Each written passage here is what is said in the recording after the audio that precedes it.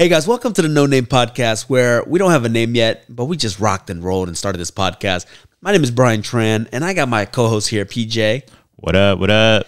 And he, on this podcast, we talk all things business on how to start, so that you guys can really excel and really blast through and become financially independent, financially wealthy, so you can go out there and crush it. But today's episode is real special because I got a special guest. We got none other than Jonathon Hsu with Focus Media. Say what's up. Hey everyone, I'm John with Focus Media. How's everyone doing? And the reason why John is so special in this episode is because he's 24 years old. He started the company at 23. And I wanted to bring on his story because he was able to really excel very rapidly with minimal mistakes and now well on his way. The company's making well over six figures. He's earning a good job.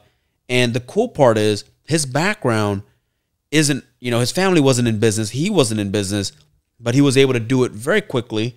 And I want to share that story today. So we're going to kick it off. Jonathan, introduce yourself. Um, how'd you get started? How long has the company been around? Sweet. Okay. Yeah. So, hey everyone, I'm John, founder of Focus Media. And well, this company, as of today of this recording, we are 11 months old as of today, which yeah. is kind of crazy. I graduated college back in December 2021 and right after that, I went to Brian. I was just like, we are both just like, screw it. Let's start this media company because we realized like the summer before in 2021 that there was a market for all of this. There's people, there's realtors needing more listing packages, better marketing videos and photos because nowadays it's all about social media now, right? Yeah. And then now, then we started seeing, I started shooting content for Brian here. And then we realized, hey, other realtors need content too. So I'm gonna leverage my photo and video skills that I've already had for the past eight years, and let's make a company. Let's go make some business. Yeah. So Jonathan was actually my intern May 2021. We we were doing a lot of the TikToks, we were doing a lot of the YouTube, and just trying to figure it out. And then I realized that look, there's there's definitely a market for this. And I told him like quit school. Let's let's start this thing. But he he was like, no, I got to go back to school. I got to finish this thing in, in December. Yeah, see, quit school. I was already. I had one semester left at that point. I already spent like four years in school. Might as well finish it. Yeah. So let's take it back a little bit more. So I, I mean, let's go back to your your upbringing, right? Did your family did they do business or what did your mom and dad do? No, actually, both my parents, in a sense, they came here as immigrants. Didn't really even I don't even know if they even really have a high school diploma. I think maybe they might have gotten their GED, mm. maybe, but I don't even think they really have any education. As when they came to America, they came during the Vietnam War, so we all know about all that. So they came here essentially with like nothing but just whatever family members we had here. But then even then, we were all immigrants. No one was really making the big bucks, so I didn't even really. I was grown up with the whole thing of you know go to school, get good grades, get a good job, buy a house, so get your, a family. Your dad was a W two employee. Yep, both of my parents were W two employees. Except definitely my dad was the breadwinner. He made the most money, but yeah. at the end of it, it's still, you know, he. I'd see him wake up three a.m. every day, go to work, come back at three, tired as shit, didn't want to even like really do anything anymore, and he just chills and maybe even naps and then repeats Monday yeah. through Friday sometimes even on Saturdays overtime, just because so, he needed the money. So he put you through school, but again, he worked for a company. Your mom worked for a company. Nobody actually went out there and started it. So that's a good start, right? Because it's important to note that because I think a lot of new entrepreneurs, they're like, well, I don't know where to start. My family didn't have business. My mom and dad uh, didn't hand me anything. Dude, most people don't get handed crap. Yeah, yeah. It's definitely know? like a crippling mindset that yeah, a lot of people have in the beginning. And that's the cool thing mm-hmm. about Jonathan. Like, look, this stuff can be taught. This stuff can be learned. And yeah, um, that's going to lead me to my next question. My, my, I'm sorry, my next question for Jonathan is like, what do you think allowed you to become number one profitable from the start? And and we've you already broke six figures for the year. The mm-hmm. company already made six figures. You yep. already made six figures. So eleven months in, why? What, what what's the secret sauce? I would say probably the number one like secret to all of this. And really, without this thing, it really wouldn't have happened. And it's really having a mentor and having someone who has done it already teach you and guide you through it all. And in, in my case, Brian here was my mentor. Like he was able to guide me through it all. He he's been doing business for like what like 10 years now yeah Nine, just about years. yeah yeah like a decade right so all of his experience that he accumulated throughout all those years and all the mistakes he's made he can now tell me about it so i don't have to make the mistake. Like i remember in the beginning he was i was doing like a process that wasn't necessarily efficient or even really good and he just told me right away stop doing that do this instead. And then because i listened to him and with that guidance i was able to then pivot and then i changed the way we do things. We got more efficient we got more profitable profitable and all we hired right away. Yep. Right? Like he was doing marketing that he's not good at mm-hmm. hire somebody but that's just like a, one example and i wanted to be specific because i don't want you know the viewers out there are gonna be like well what is it it's just there's a number of things, mm-hmm. and Jonathan's good because he's coachable. Mm-hmm. So be coachable. That's the number one thing. Number one, you have to understand that, you know, especially starting out, you know nothing. Okay, and other people with egos, they would be like, "Well, I'm gonna figure it out. I'm gonna figure it out on my own. I'm gonna make the mistakes." Mm-hmm. Wrong mindset. The mistakes that are made right? People think that oh, you know, you have to make mistakes to learn. No, you don't. You don't have to make mistakes to learn. You have to work hard. There's no there, there, there's no shortcuts to that. You have to work hard. You have to put in the time. You have to put in the effort, but you don't have to make the same mistakes. Mm-hmm. Right? That's that's like the, the the thing that pisses me off the most when people are like, "No, like let him make the mistakes. He has to learn on his own." No, you don't. You have to understand the mistakes so that you don't make it again, but you don't like, or you don't have to, you know, so you don't make that mistake ever, but you don't have to actually experience it yourself. Mm-hmm. That's all I'm saying. But yeah. I don't know what other questions you got, PJ. For sure, for sure. I, I, I mean, thanks for that uh, that story, Jonathan. Appreciate it, man. I, I didn't know any of that, but I want to ask. Um, this is kind of kind of for for Brian and essentially um, also. Uh, but what did and as a mentor, like what do you think are the key things that that Brian has taught you? Because Brian's actually not, you know, I don't I, I don't think you're a photographer or a videographer. Are, are you? I don't know anything about it. All right, that's why. yeah, but but your mentor was somebody in a completely different industry. Mm-hmm. And uh, what do you think are some of the key things that Brian has taught you as a mentor? Yeah, so because I was coming from the photo video background, that mm. was knowledge that I knew already. And freelancing by myself before starting all this, I already had that knowledge. But mm-hmm. what I needed, and like even in the beginning, I was like, I literally asked him, like, dude, how do you even start a business? Like, I thought it was super complicated to start a business and everything. And he was like, dude, no, it's the easiest thing ever. You just need to sell something and make money from it. That's a business. So I was like, okay and I was really lacking the whole like business side of knowledge that Brian had. Mm-hmm. So that was like one of the big things I learned was like everything to do with business, how to do marketing, what's great ways to do with marketing, how to hire people, when to hire people, and you know how to even just go out there and just make a sale or two even when I know the day is free, I can then just now go out there and be like, "Hey, you need any this?" and then I can just fill up my schedule right away. It's like little like little things like that. Even over time, like there was many many things throughout these past eleven months. Yeah, yeah, awesome, awesome. I think he got hung up on. A lot of people get hung up on the legal aspect mm-hmm. of it mm-hmm. too. Like, oh my god, you know, do I start an LLC? Do I start an S corp? Mm-hmm. Go out there, make money 1st mm-hmm. because those those LLCs and those S corps they do cost money to form. They don't cost a lot of money, mm-hmm. but when you're starting out, a couple hundred bucks is a lot of money. Yeah, definitely. not to mention like you know to file the taxes at the end of the year mm-hmm. your cpa charges you for your personal and the mm-hmm. corporation right? So don't even worry about that. Just make sure that you're actually able to produce income. Yeah. Once you make money then you can start the company. And it's so easy. LegalZoom i have an attorney that does it for me. Yeah. So yeah i mean i think all that stuff is uh you know definitely you don't need that stuff in the beginning. You know you got to see if it's good first. You got to see if you know people want the product and I mean, it's like you know, you see, it's like food companies, right? Mm-hmm. Some people like get caught up and like, oh, I need the, the food license. I mean, you know, definitely should in the future, you know. But you know, in the beginning, it's like, hey, like just get it going, sell some people. You know, there's street vendors all the time. We probably you know, don't. Yeah, have, you know, you like know? My, my cousin owns a, a, corn dog stand. They just did an mm-hmm. event yesterday, eight thousand dollars. But you know how they started? They just started with a cooler and just going out to like birthday parties and serving it up. Yeah. My buddy who owns a Bay Area, my, my cousin, he's like my family member, but he owns a Bay Area jerky. Mm-hmm. Um, shit's fire yeah, he just he started off just selling it to, on Instagram. Yeah. He wanted it, he bagged it up and he did it, and yeah. just start. I don't even know if he has a health department. Yeah, can you imagine how long You know, it would like- take if you're like, oh, I'm gonna get the licensing, I'm gonna get the LLC going, and then then I will sell. Then I'll be ready. When Yeah. you're big and you have a lot to lose, do it right.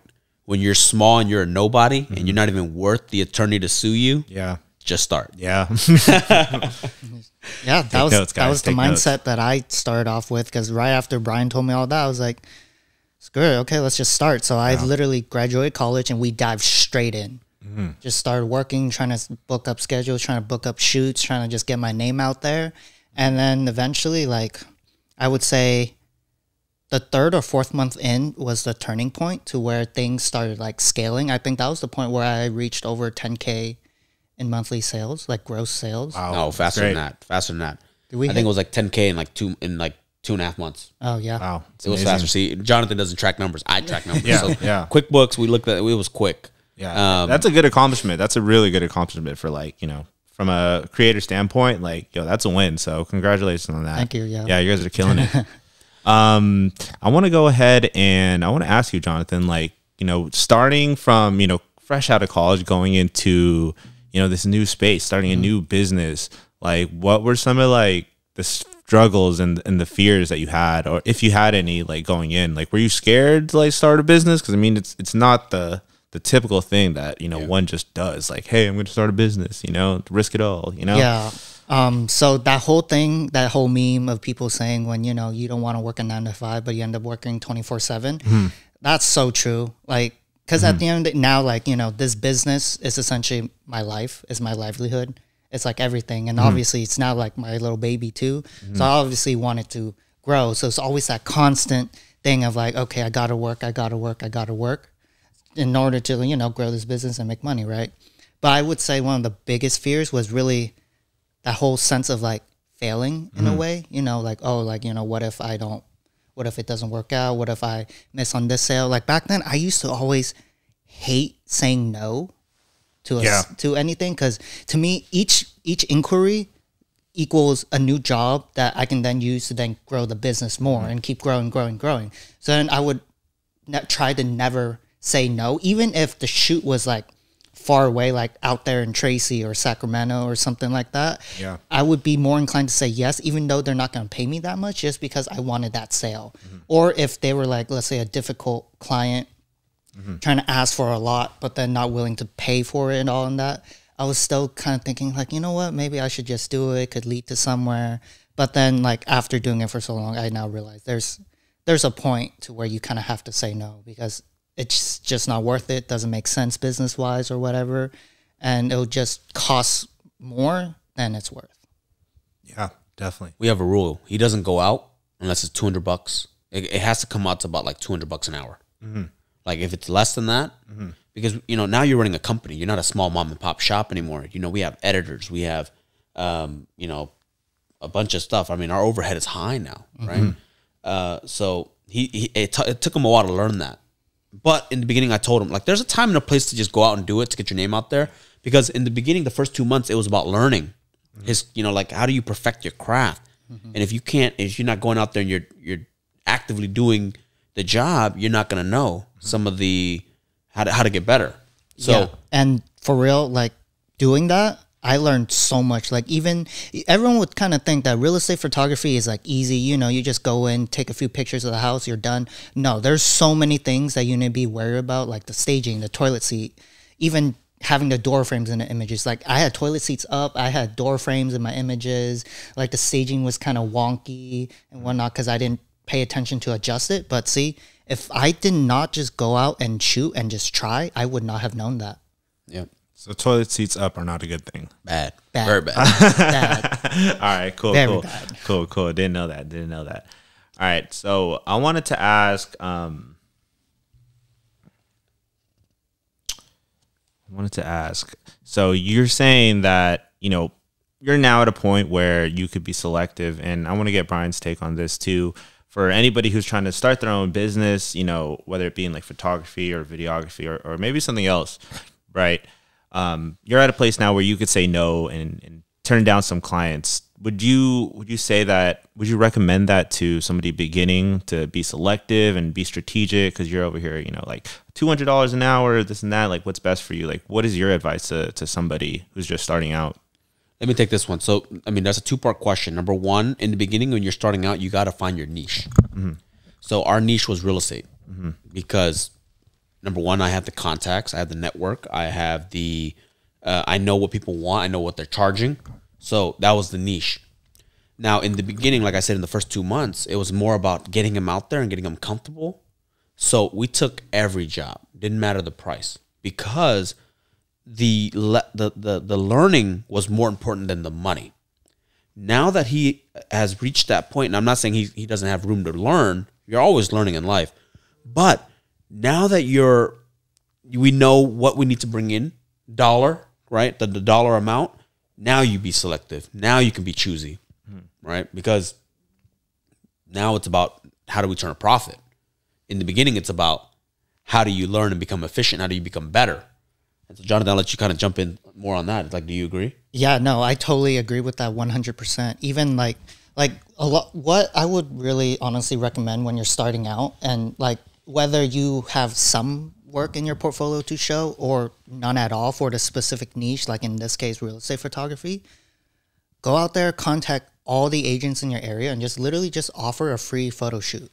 Because one of the Yep. biggest things I've learned this year is provide value first, money comes later. Because if you provide that value, you give them the best experience possible. You make you they enjoy working with you. All that, all these positives, they'll call you again. They'll call you for the next one. And then you do a great job, the next one, and the Agreed. next one. And then that's how it snowballs. I think that's a, a massive principle that you, as a beginner, uh, like going into business, you need to understand. You know, like you have to provide value. Like for me, if if I'm like, oh man, like I don't have any business, like I'm like, how can I provide value to somebody? All I gotta do is like, hey, you want? Let's do this. Like I'll do this for you, and they always like more than ever always turns into a lead. Yeah, you know, 100%, actual sale. yeah. So mm-hmm. In business, in the beginning, you have nothing but time. Go out there. I, I mean, I, I, how many times did I tell you just go out there and do it for free? Yeah. I was like, just go out there and do it. Yeah. I mean, do or do it for fifty percent off. Hmm. Right in the beginning, you can do that, and so that's the cool part. And I don't know what else do we want to ask. What do you want to ask, Ryan? Oh, man, what know. you got? What you got to ask for Jonathan? We You got know? him in the hot seat. So Yeah. So now, now that you know, I like to always ask people like, what do you want to? Where do you see yourself in a year, three years, and five years with this company, or in general, just in personal? Like, what, what's your goals? Yeah, I guess right now, like the, I feel like the ultimate goal for this company is to get it to a point where it runs on its own, hmm. where I don't necessarily have to be in the day to day operations anymore. If anything, even just a managerial role, or even just try to get it to the point where I'm just totally just hands off. There's someone else pointing at CEO running the company, doing all the day to day, and then there's teams of editors, shooters, sales, marketing, the whole whole thing. And we can get there. Yeah. yeah, you guys are well on your way. So the main thing, and I, I'm, I, you know, I probably told Jonathan this all the time, is that you can get there as long as the lead flow is good. Mm-hmm. If your lead flow is good, we can hire the editors, we can hire the the photographers. That's the easy part. It's just gathering the lead, making sure that the quality of the systems and processes are in place, to where when you step out, the quality doesn't drop, the customer service doesn't drop. Um, but yeah, I mean, there's no doubt, and I think we can get there in two years. But it's up to whether Jonathan. There's still work that needs to get done, so it's it's up to him if he's gonna do it or not. I believe in him. I believe in him. So what's three years? What's a personal goal? Um, I guess a personal goal, maybe in three years, I ideally want to get into my first property as well. Cause you know, I'm in the real estate space now and throughout just even shooting all of these reels for all these realtors, I would say I've learned a lot about the real estate industry, how it all works, investments, everything all about it. So now I'm also kind of interested in kind of getting into like either an investment property or even just buying my first little like house just to start building my wealth overall. Yeah, love it. It's, Nice. it's crazy. It's crazy to think that like you know you just you just chase your passions and do what you love, and then Yeah. you just like learn so much around good people, and then Well, he's lucky because his passion was is is like a, a in demand. yeah, I don't believe that all passions will make money. people do do it, but Mm. in like this space right now with the video and the and the photography, it's a big business. Yeah. because social media is so big. So I'm glad he got into the right industry. He got into the right passion, right? But if you were passionate about, I don't know, bird watching, how much money can you really make? I mean, I'm sure. I, just, somebody, I, I'm- I I'm was sure gonna say I disagree because I, I feel like I feel Well, like there's a way. Let's talk about it. I mean, yeah, at the end of the Geo. day, I think if if I mean, I think you can make money in your passions doing. There's a way, like, and there's always a way. I mean, whether it's not like maybe you can't, you know, service, but at the end of the day, like YouTube, social media, and all that could definitely change your life. And hey, if you're into bird watching, if you're that cool guy who's I'm sure. I'm sure. watching birds and is like, man, maybe doing some crazy stuff, The doing some problem with backflips that, while watching though- birds, people. people The problem that. with that is that you know, so I, I I agree with you. Eventually, every you know, if you stick at it long enough, it can become Mm-hmm. profitable. The problem is, is that like for example, bird watching and Mm-hmm. starting a YouTube. What if it doesn't take off for two, three years, four, five, ten years? Yeah. you, you know, how are you going to feed yourself? Yeah. I mean, there's maybe some more obvious ways that it's like, hey, this one's going to make money. Yeah. Yeah. But for the that's just average, the business side for the you, you average know? person, like listening to this and the and the, the new entrepreneur starting, like start off by understanding if whether or not your passion pays the bills today, Mm-hmm. right? Or because the easier route is get into something that makes money and then make money and and then go do what you're passionate about. Yeah. I was That's just the easier say that route. too. Yeah. Like I'm not saying don't don't follow your passion, but come on, man. It's, it's you got to eat, you got to live, Mm-hmm. and if you're starting, if I were to start a bird watching business today, I'm not sure how much I can turn and make that profitable. Yeah. or if it's even worth my time. Yeah. You know? I mean, hey, if you love bird watching and you and you need to make some money, I mean, you better find Yeah. a way that you could make a ton of money. I think everybody should learn how to make a ton of money and then do what they love, you know? Like Yeah. So that's why I chose real estate specifically Mm-hmm. because granted w- within the realm of photography and videography there's so many different niches you can Mm-hmm. go with and I chose specifically real estate because it was the most monetizable Mm-hmm. compared to the amount of work you need to do to get it done versus like like before this I was really into shooting a lot of cars. I still am. I just don't do it as much anymore because I just don't have the time for it. Mm. But shooting cars is really hard to monetize Mm-hmm. versus real estate. Get paid right true. away, Very true. and it's quick. Very and if you screw up, you can always go back. The property's there. Yeah, and it's always going to be there. People, real estate's always going to be there. People are always going to need, you know, marketing stuff for their properties. So, yeah, a very, very lucrative market. Mm-hmm, mm-hmm. let's end it with this. What is the if you can give yourself like uh I mean, this works more for people who kind of been in the business longer. Mm-hmm. But if you were to if you were to go back in this last eleven months, or even let's just go back to college, what would you do differently in your life right now, as of up to now, twenty four years old? What would you tell the other twenty four year olds? So honestly, I would have probably started this business way earlier. I probably could have started this when I was 18. Like after high school, I just didn't know. Like I mm. genuinely at that time, all I thought about was, oh, I'm going to college. I'm gonna do. I'm gonna study marketing, which didn't even happen. I have an art degree now, but is to just start earlier. Like start now. Don't wait. Just start now.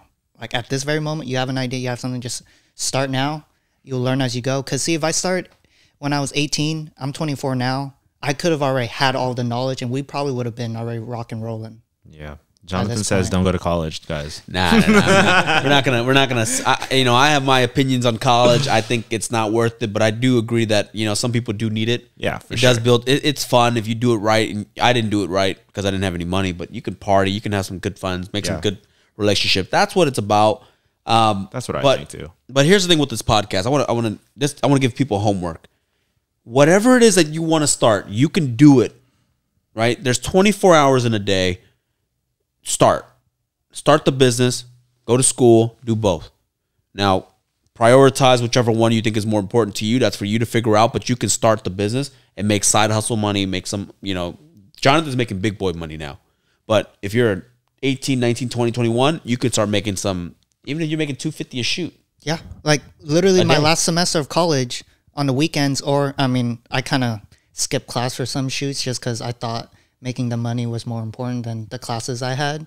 But like even if you have classes, just do it part time. Like maybe just do it on the weekends or something like that too, and then just make that little side income, and then eventually you can scale it up. because you're gaining the experience.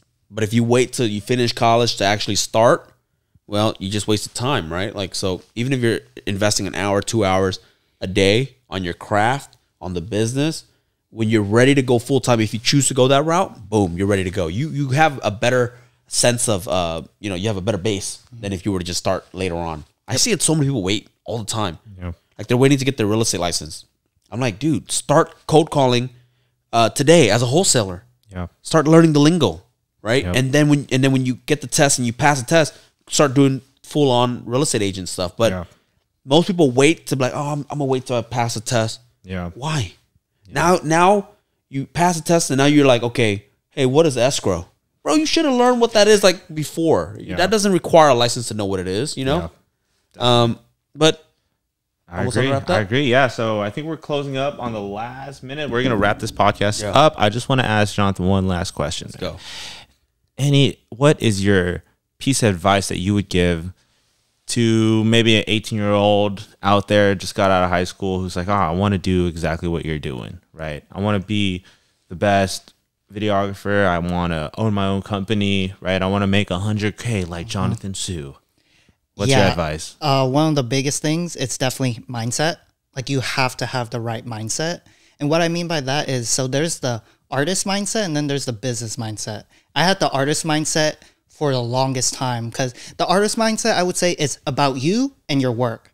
Mm-hmm. Nothing else matters. It's all about you. And that's bad in business because in business, it should never be about you. It should be about your clients and providing that value. And that's one thing I had to learn this year because I was always so nitpicky about my own craft, like something little thing in this video. And then now I just keep going back, revising the video, keep re editing, re editing, re editing. What does that do? That wastes time. So instead of trying to just perfect your craft, as long as your craft is good enough, especially if you're just starting off, as long as it's good enough, just roll with it.